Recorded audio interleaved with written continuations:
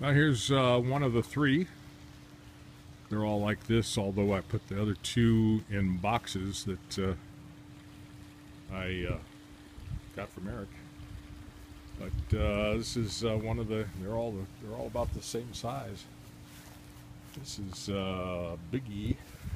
Look at the base on this. Put my hand here just to show you the size of this. Pretty amazing. Got back and a little shade cloth over it. And uh, it's going to be beautiful. Great trunks to work with. This is my uh, part of my garden with uh, stuff that I'm in the process of turning into bonsai. A lot of the bougainvillea grow. There's a really cool shilling that I took out of a parking lot that didn't need it anymore. And uh, there's all kinds of stuff in here. There's a red-headed gecko right there. Running up the side of a, uh, I don't think I've ever seen a red-headed gecko like that. Running up the side of a Brazilian rain tree.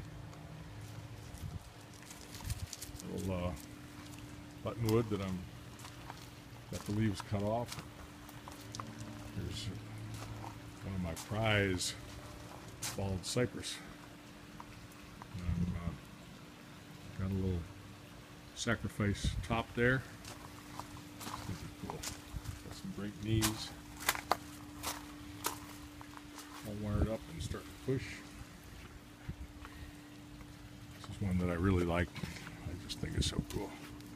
This is uh, just a plain old Ficus benjamina. I call it burnout because, as you can see, guy only has one little piece left that's alive, and I've burnt out the rest of it.